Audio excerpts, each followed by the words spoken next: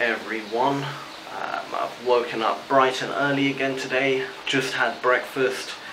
Um, and we're going to head down to the shopping centre today and do some shopping. Okay, so back in the hotel room, just went uh, to the shopping centre, bought uh, a few clothes, nothing too spectacular. There was only really one shop that was half decent, shop called Springfield. Um, they actually had some alright clothes. So I've got a kind of really light, thin jumper type thing, as you can see. Don't know if you can see that.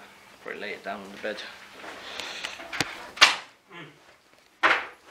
So got that.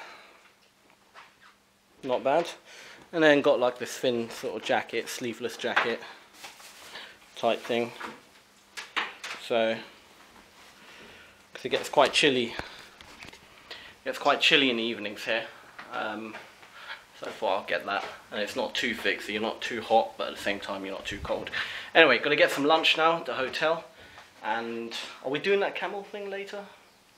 Yeah, so we should be um, riding camels later, so got something to log, log about. Um, but yeah, right now it's lunch. Probably pop back to the hotel room and then uh, leave to the camels. See you in a second. Okay, so we're on the way to this camel place. Uh, basically, we'll just be riding camels. Um, is anything else on that area?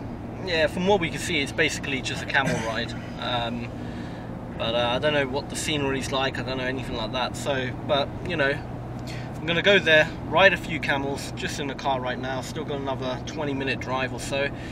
Um, I'm wearing what I've purchased today, well the jacket. I changed t-shirts as well. The other one was, sorry, the other one was just, I don't know, it was too like tight on your body and it, in the in the warmth, it was kind of like a humid warmth. It was, I don't know, it didn't really work. Um, so yeah, changed t-shirts, changed my clothes. Um, and now, just traveling using the sat nav. What's cool is we can actually use the internet, but very basic internet, anywhere where we are. Because the network I'm on, back in the UK, um, they allow Spain as part of uh, this kind of feel at home type thing. So I actually got Wi-Fi wherever I am. Not Wi-Fi, but I got like mobile internet wherever I am. But it's really, really slow. I mean, it takes ages just to like load up a simple website. So it's kind of useless, but it's great for maps. So we've always got the GPS on our phone. But anyway, probably rambling again. Uh, we're going to go to the camel place and pick up the vlog and the main camera there. Uh, hopefully get some excellent footage of some kind. If not, then some decent footage of camels. Don't see camels every day, so all good. Alright, see you guys in a second.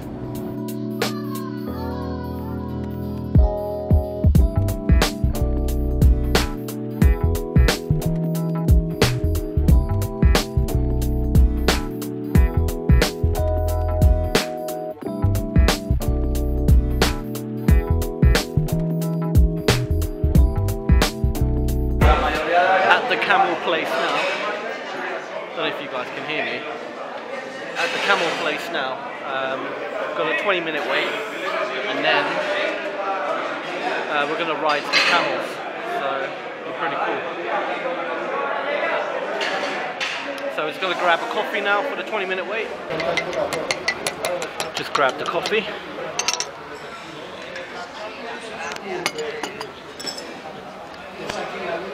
Cup of coffee while we wait.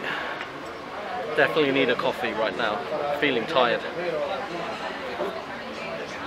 Ah, lots of walking we've done this holiday. Lots of travelling. Gets to you after a while. Starting to feel it today. Uh, today was the, the first day I woke up a bit later than usual. Usually I woke up around 8 something, early 8. Today I woke up around 9 something, so definitely feeling it. Ah.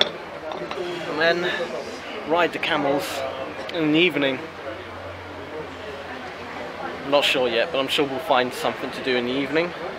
Finding a camera lens there, I don't know if that picks it up. It's gone now. But yeah. So I think this vlog's going to be quite a slow one today. Nothing too spectacular. But this camel thing does look pretty decent. It does look like I'll be able to get some good footage, so hopefully, fingers crossed, be pretty cool. Yeah, and I'll see you guys in a minute.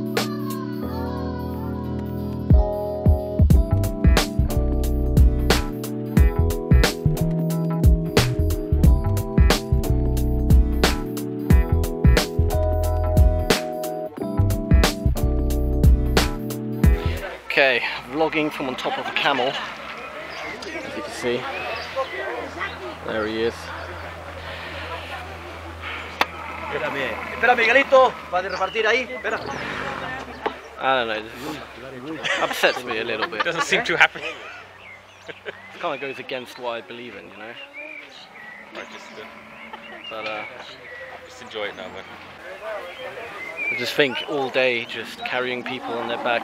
I mean, I don't know much too too much about camels and what they what they can do and if this is normal for them or not. But I guess I'll do a bit of research when I get back in the Maybe hotel. you can do a video about it. Yeah, maybe. But I don't know, they seem quite upset. And I don't blame them. Think about it. Every day you're just carrying people around. You're not going to be happy. But, uh, alright, might as well try and enjoy it while I can. Maybe I could, uh, I. But yeah, we'll see. Alright, see you in a second.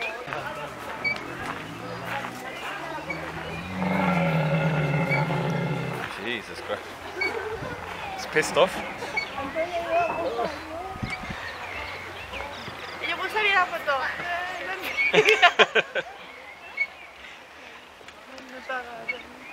It's actually very high up. You don't notice how high up you are. Yeah.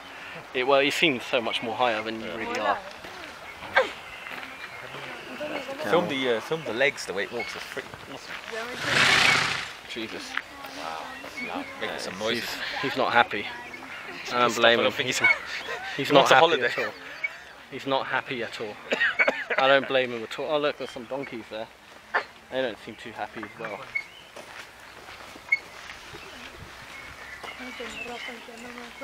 But I just think it's the strain of, you know, carrying people. I'm sure like their backs will be sore after a while, and it's not nice, you know.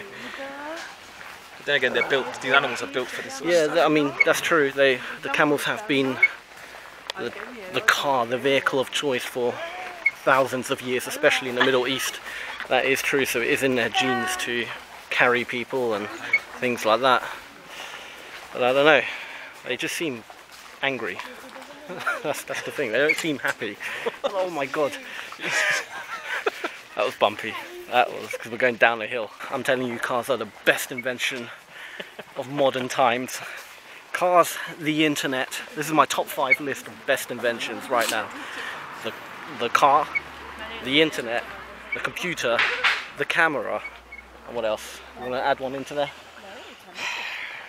The iPhone, smartphone. Smartphone. Let me know in the comments what your five best inventions are of modern time, what you could not live without.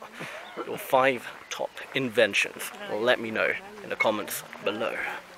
So just to add insult to injury to the camel, the man who's walking the camel in front is now lit up a cigarette so all the smoke is blowing direct in the camel's face.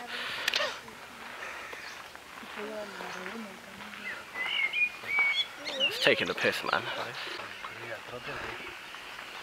And then when you go down the hill, you've got to be careful. Ah, because he has to kind of. He has to be careful, and it's a lot more strain on the camel's legs going down hills. It just feels like it could just break down. I mean, Yeah, that's what it feels like. it feels like any second the camel's just gonna, it's gonna fall off. Like it doesn't feel good. Poor thing. I can really feel it. Isn't it? This is uncomfortable. It's very uncomfortable. Everyone is well going, ah, because it just doesn't feel good. So this is the camel that,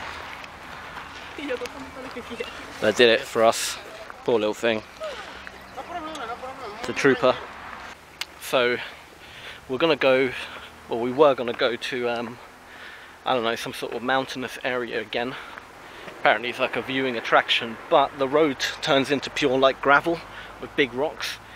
So we just want to find out if that road So I'm going to read this sign here, see if I can discover if this road is how it is all the way up because we've got a rental car and obviously if we scratch up or damage or get a you know a flat or something on the rental car um, it can cost us dearly. Latrell leaves from the plaza, blah blah blah blah, and ascends to the street.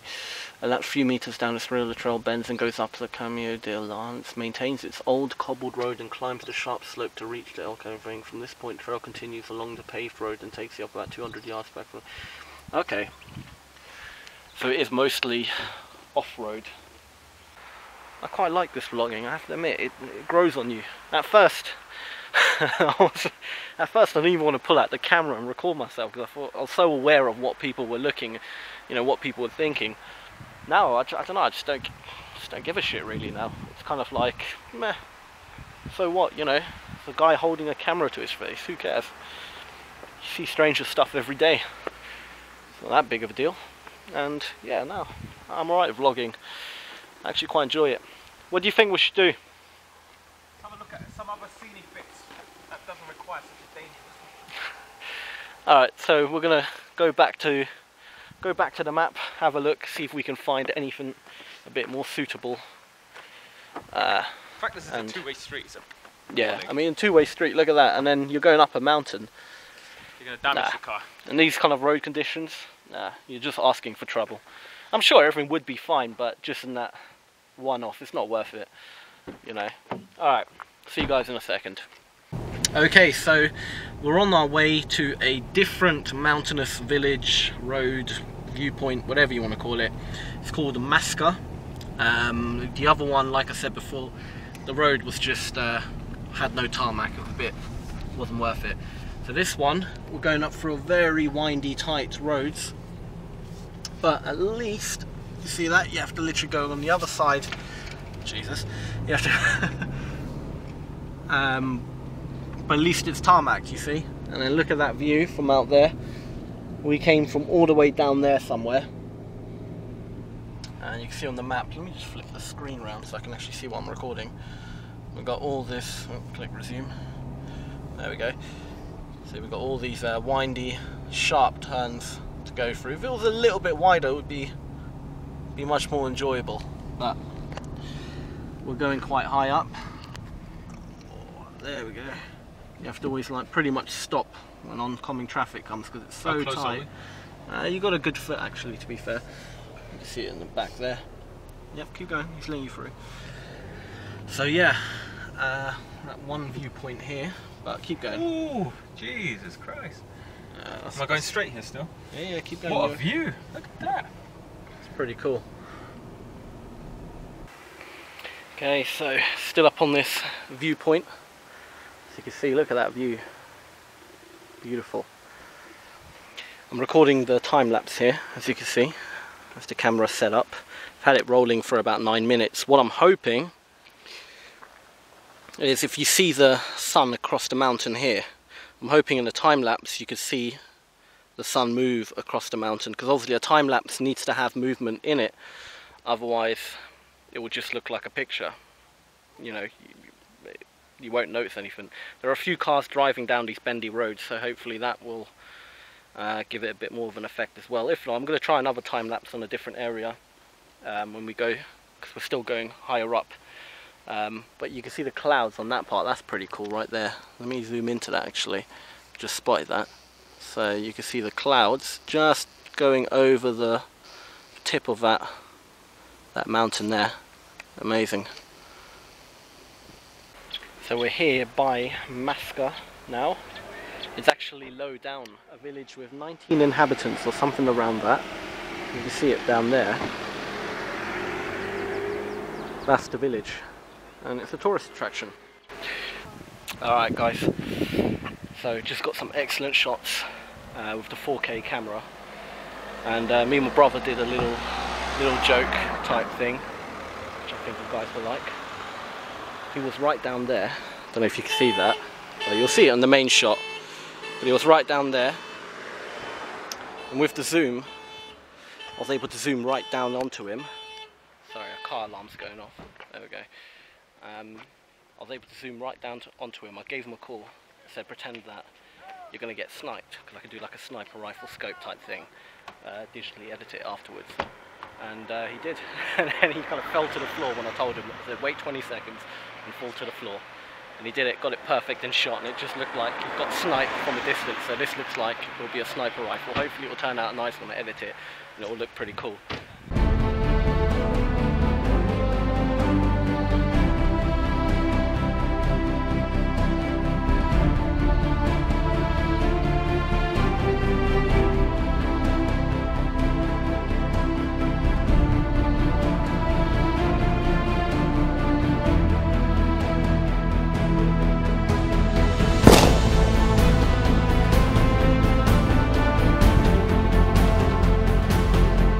Yep, just stopped on the side of the road because this view is epic. Look at that. You can see the landscape in the distance with the sea in the middle. Absolutely epic. What a view. So we're almost at the hotel, but we just stopped here because look at that view. We've got some excellent shots of uh, the actual city all the cars driving by. So, what a perfect opportunity for a pretty cool time lapse. As you can see, I'm just recording it now. Let me zoom in on that. So, I've got the time lapse going right now. Obviously, you don't need a microphone for a time lapse, so it's all unplugged. But yeah, no, pretty cool. So I let that go for about four minutes. Doesn't need to be a long one. And then I'm going to do one from that angle down there. And then see which one turns out best really. Might as well while I'm here, do many time lapses as possible. Check that out, what a view. I think that's going to be the thumbnail to be honest. That might be a thumbnail shot. On our way to dinner now got back to the hotel. The dinner ends in half an hour. So gotta get back, not get back, go down there quickly so we can eat. Uh, I don't think I've ever shown you this one, but in the corridor there's just huge rocks painted white, so it's kind of like built into the landscape of this hotel. It's pretty cool. So just got out of the bar, the hotel bar, had dinner, and uh, it's almost well not almost, it's uh, 11.15 right now. So I'm gonna go back to the room, edit some vlogs and call it a night.